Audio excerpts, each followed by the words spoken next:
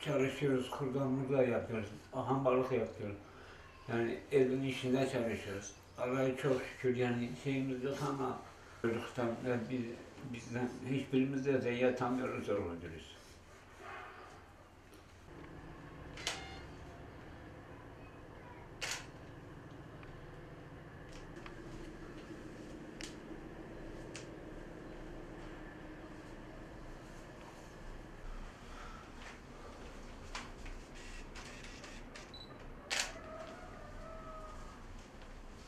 Abi 19 gündür bugün.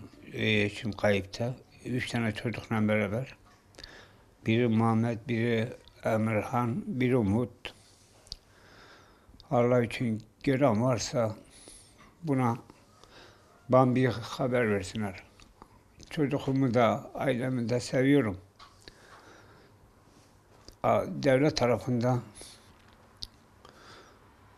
yardım istiyorum çocuklarımı görmesi için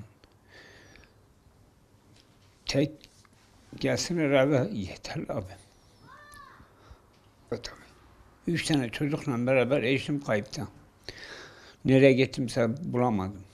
Ağına gittim, Arapkir'e gittim, Perte'ye gittim, Malatya'ya gittim.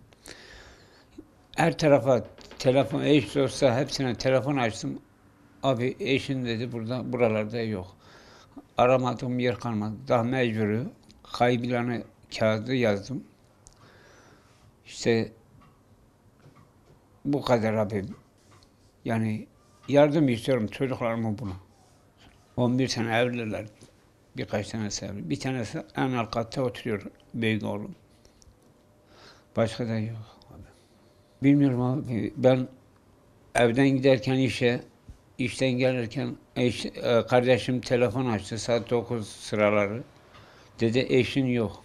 Geldim de yok. Terminala girdim, terminalde araştırdım yok. Bu isimde bilet falan kesmemiş. Ondan sonra geldim karakola, karakolda da şey yaptılar. Baktılar. Dedi eşim burada yok. Şu anda üç tane kalıyor. Üç tane çocuğum burada. İşte yediğimiz, içtiğimiz belli etmiyor. 10 19 gündür ben ne yemek yemesini ne de uyku yapmışım abi. Söyleyeceğim bu kadar. Annemle kardeşlerimi görmek istiyorum. Gelmelerini istiyorum.